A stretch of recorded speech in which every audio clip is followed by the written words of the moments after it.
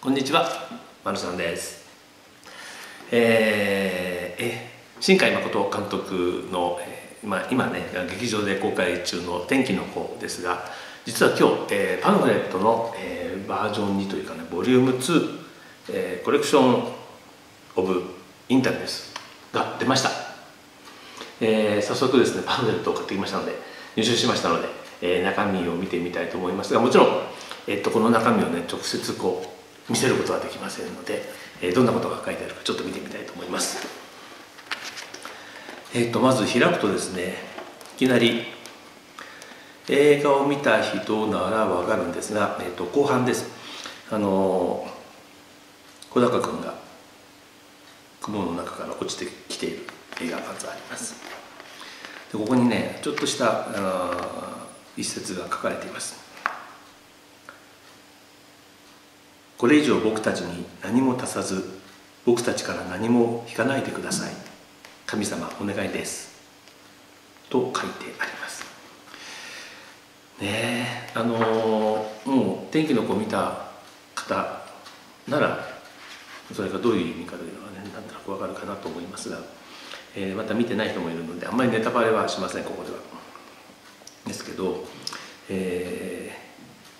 結構確かにねこれ考えさせられるというかまさにこの時代に、えー考えさせられる映画です。これはあのくしくもこの間のね台風15号っていうのが日本特に関東特に千葉で今甚大な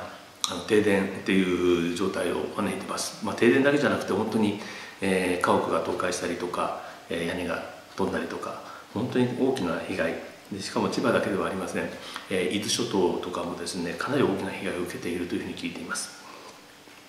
まあ、そうした自然災害に対して僕たちはどう、まあ、立ち向かうというとね大げさなんですけど何かこう考えさせられるものがこの天気のこの中にはいっぱい実はあったりとかします。えー、とページをめくるとですねストーリーがありまして、えーまあ、こんなお話ですよという説明と各シーンの、えー絵が写真がね写真というか画面が出てきてます。いいですね。そうですね。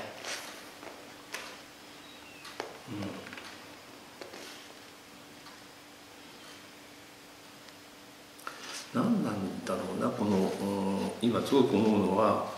まさにこの台風の被害に遭ってしまった日本。まあ台風以外にもね西日本とか、えー、一昨年かな去年とか一昨年、えー中国地方とか大きな洪水が起きたりとかしてますけどそういう自然災害に対してこうどう向き合ったらいいのかというとこまではいかないんですけど何かすごく本当に考えさせられます。で、えっとこのストーリーの説明が終わりますと実はこの、えーボリューム2コレクション・オブ・インタビューズ用にですね、えっと天気の子の公式ホームページから、新海誠監督に、まあ、質問を受け付けますということが行われました。でこのボリューム2には、えーこうあります。え新海誠監督が皆様からの質問にお答えしますというページが用意されています。質問はね全部で1 2 3 4 5 6 7 8 9 10 11 12 13 14 15 16 17 18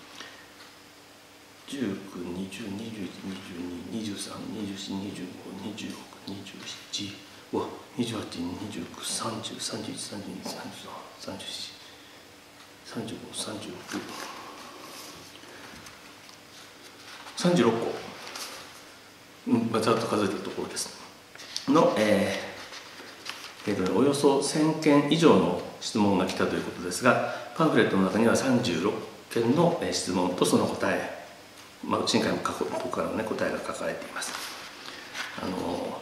まあ全部紹介するわけにはもちろんいかないんですけどぜひこれはあの映画を見てからこのダイエットボリュームにえお買い求めいただいて見ていただくと面白いです。はい。あの若い刑事さんのねこのリーゼント頭が何だったみたいなのもあります。し、えー、と僕はこの中でねちょっと気になったことがあります。えーっと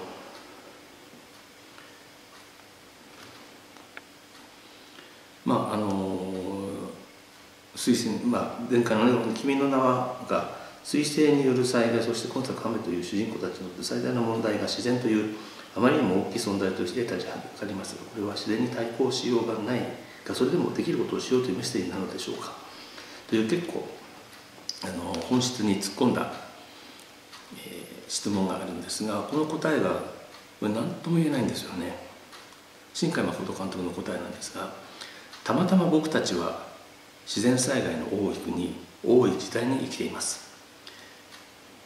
僕はその時代にたまたまアニメーション監督の仕事をしています。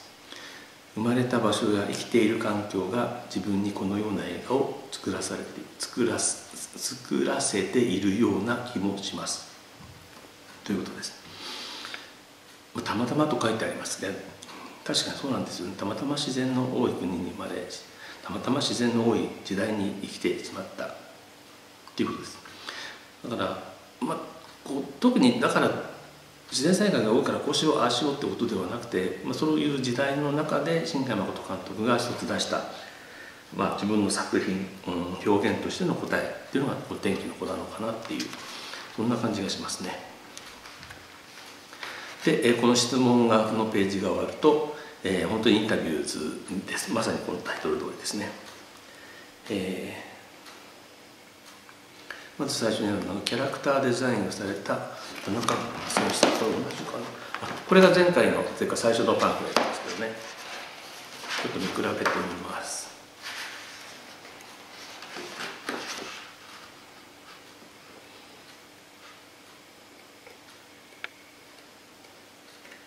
あそこはないんだ。本当にえっ、ー、とねないです。違ってます。本当にこの2冊で、えー、やっぱりお互いにこう補完し合ってるところありますね、えーと、まず、えーと、キャラクターデザインの、えー、田中正義さんのインタビューがあって、えー、作画監督の、えー、田村淳さんのねさんのインタビューがあってそれから美術監督の滝口博さんのインタビューがあってえー、撮影監督津田亮介さんのインタビューがありで、えーと、助監督で色彩、えー、設定設計の三木陽子さんのインタビューがあってこれがすごいです。あの前回のねこっちのやつには、えーと、気象監修をされた、えー、よしよいしょ荒木健太郎さんの、えー、インタビューが入ってるんですが今回はあの多分これ、結構この作天気のこの作品の根っこにある話にはなってるんですけどあの神社出てくるんですよね。その中に書かれている龍と巫女さんの絵があるんですがその気象神社の絵画天井画を描いた山本何て言うんだろう。二蔵さんえー、山本人の山に、えー、日本の本ですね、えー、漢数字の2と3と書いて新蔵さんと読みます。この方が、えー、そうですね。竜竜を描いてる竜と巫女さんの絵を描いていますが、えー、これがなかなか面白いですね。はい、で、えーと、その次に行きますと,、えーと、ラトビープスラトビープスの、えーと野田洋次郎さんの「えー、作曲した「風たちの声」の詩。それからこれ祝祭でいいのかな？の詩ですね。歌詞が出てます。から大丈夫、まあ、それぞれ、えーと、ムービーエディットなんですが、えー、野田さんの、えー、これ大丈夫も入ってます、はい、で、えーと、ここから結構ページ取ってます、えー、天気の子君の名は座談会ということで、えー大悟小太郎さん、森永さんそれから神木隆之介さんと、えー、上白石萌音さんこの4人の対談があります、まあ、あの声優としてねこのキャラクターに声を吹き込む命を吹き込む、えー、人たちの座談会です。結構これもね面白いですね。読み応えあります。でところどころに入っている絵がねうんそうなんですよ。見た人には分かる。ななんでなんでここに神木隆之介さんと上白石萌音さんがいるかっていうこともあ見た人なら分かるかなと思いますね。そのそのシーンが描くちょっとピックアップされてます。で、えー、と最後ですね。これ再開のシーンかなですね。あの小高君の背がちょっと伸びてます、ね、いいですね。でえっ、ー、とそれですね。ページの後ろには、えー、天気の子えっ、とねこれの、えー、東宝アニメーションストア限定商品新商品もいくつかあります。オルゴールとかねえっ、と B5 版のキャラファイングラフ。あの綺麗な額に入っているんです。これも新作が3つ追加されてます。でページをめくるこれあの嬉しいですね、えー、天気の子劇場商品通信販売のご案内。あの劇場で買えなかった劇場まで行けなかったっていう人でもこの商品は通販で買えます。えっと一応、えこの動画の下の方にもそのアドレス入れておきますので、えー、ぜひ見てください。結構いいなこれ、うん、なかなかねこう劇場で勢いで買っちゃうっていうのはもちろんあるんだけども、えー、どうしようかなああしようかなって思ってるうちに、えー、上映が終わっちゃったりとかしてもう買えなくなっちゃったりとかするんですがこうやってあの劇場商品の通信販売のご案内と通信販売できるとね嬉しいです。後からも買います。というわけで、えー、こちらが天気の子の最初のパンフレット。これも売ってます。今売ってます。で合わせて、えー、こちらのボリュームに、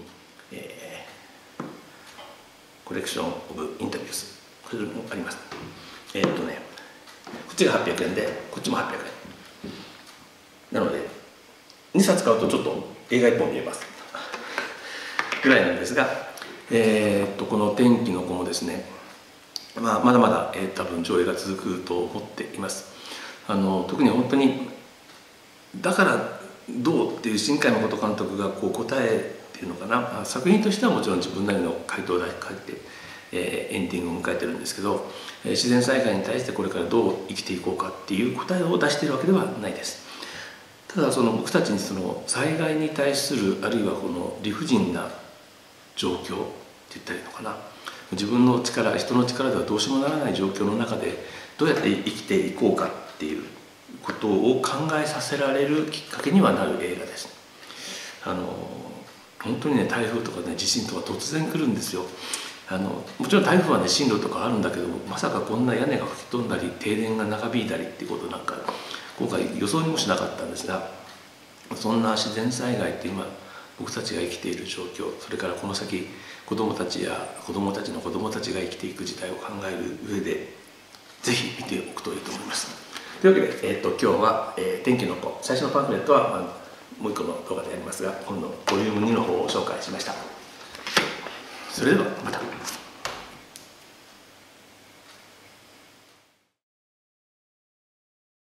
富士山見るなら山中湖チャンネル登録高評価もよろしくお願いします。